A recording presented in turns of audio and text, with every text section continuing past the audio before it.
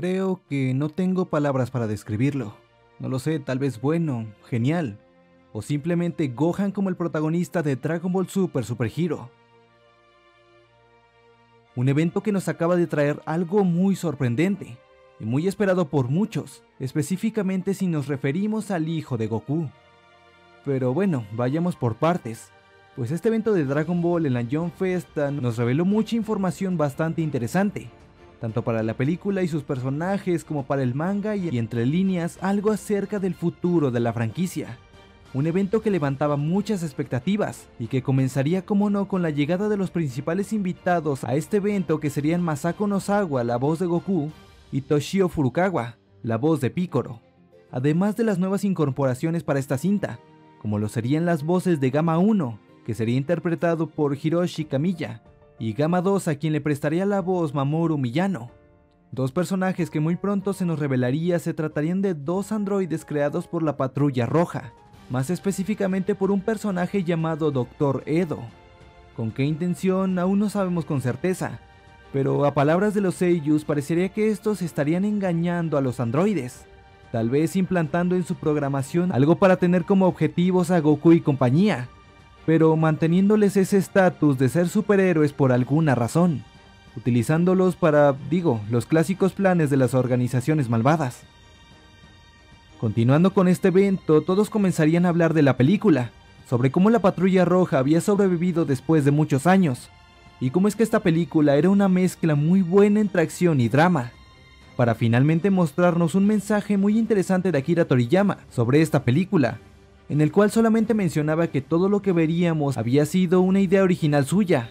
tanto el guion como personajes y mucho más, e incluso mencionaba que la animación de esta película lo había dejado sorprendido, culminando con que estaría muy ansioso porque llegara.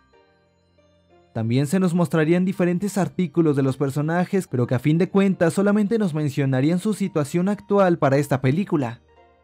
Algo que finalmente nos encaminaría al momento que habíamos estado esperando desde el comienzo, y es que tras una larga espera desde que había salido el primer, o mejor dicho, segundo tráiler de la nueva película de la franquicia de Dragon Ball en la Comic Con de Nueva York, finalmente ahora con este evento especial que se dio pie en la John Festa 2022, tenemos ante nosotros el tercer tráiler de la película de Super Hero, en el cual finalmente podemos ver algo más sobre esta cinta, como algo sobre las motivaciones de los villanos para esta película, entre muchas comillas. Y por supuesto, lo que más resalta de este tráiler y del panel de Dragon Ball en sí. El regreso de Gohan una vez más al protagonismo, esta vez en Dragon Ball Super. Y es que si bien ya lo habíamos tenido en lo que fueron la saga del torneo de poder y la de Moro, ahora el hijo de Goku no solamente serviría como un personaje secundario, como ya había tenido ese rol durante la mayoría de Dragon Ball Super, hasta cayendo directamente en el rol de personaje terciario por momentos, Ahora en esta película Dragon Ball Super Super Hero, Gohan finalmente tendría una vez más un momento de gloria, por lo que se nos deja ver no solamente en este tráiler, sino en toda la información que se reveló en este evento. Nos hace pensar que este personaje cargaría con una buena parte de la trama, y digo, hasta los ahí presentes mencionan que parecería algo llamativo que Gohan y Piccolo estuvieran en el centro del póster promocional de la película. Masako Nozawa incluso mencionaría que estaba emocionada porque Gohan regresaría a los combates, y no sería para menos, pues esta película nos mostraría como podemos ver en el tráiler un choque entre superhéroes, como lo serían Gohan y los androides Gamma de la Patrulla Roja, como podemos ver en el tráiler donde se enfrenta a ambos, muy probablemente después de que Piccolo se enfrentara a Gamma 2 como podemos ver también en el tráiler, incluso llevando a tal punto a Gohan a liberar no solamente el Super Saiyajin, sino inclusive el llamado estado definitivo, que no vemos en este tráiler, pero sí podemos ver en una figura promocional de esta película. Tal vez siendo para enfrentarse a los androides Gamma o para un villano aún no revelado. Y es que digo, hay muchas teorías sobre el regreso de Cell, aunque esto lo veo algo imposible. Pero aún así, siendo esta una amenaza a la cual Gohan tendría que enfrentarse y hacerse cargo por su propia cuenta. Y es que como podemos ver en el mismo tráiler y también en las descripciones de los personajes que nos darían en este evento, tanto Goku como Vegeta se encontrarían fuera de la Tierra. Específicamente estarían en el planeta de Bills entrenando, como ya lo habíamos pensado desde el tráiler anterior, y que lograríamos ver en este también. E inclusive si lo pensamos detenidamente, Como ya lo habíamos visto en un pequeño frame, estarían entrenando junto con Broly, el cual no se ha revelado de manera oficial pero sabemos que aparecerá en esta película. Y aunque no tendrá un papel muy importante, o por lo menos eso creo, aparecerá sí o sí en esta película.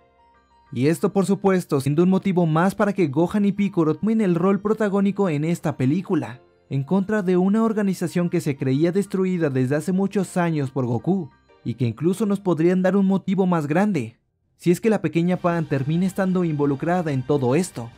tal vez siendo secuestrada por la patrulla roja, tal vez incluso al detectar que tiene un potencial muy grande. Además de que esta película podría traernos algo bastante interesante, pues si nos ponemos a pensar por lo que se nos deja ver también en un artículo del personaje de Pan, esta película estaría situada uno o dos años antes del final original de Dragon Ball Z, pues se nos menciona que Pan tendría tres años en esta película, dos años menos de como la vimos en el final original. Algo que me hace pensar si es que podríamos ver en el final de esta película una, readaptación de ese final original, pero esta vez con el canon actual de la franquicia, pudiendo ver a Goku con su doggy de maestro. Tal vez como ya lo había mencionado, incluso ver a Broly en la Tierra para, para participar en el vigésimo octavo torneo de artes marciales, y que incluso nos abriría paso para la continuación oficial de la historia original de Akira Toriyama. Y que ahora que lo pienso más detenidamente, esta película me está generando mucho más hype de lo que imaginaba. Sin duda un evento y un tráiler repleto de información muy emocionante para esta película, aunque dejando algo que desear con esa animación en CGI.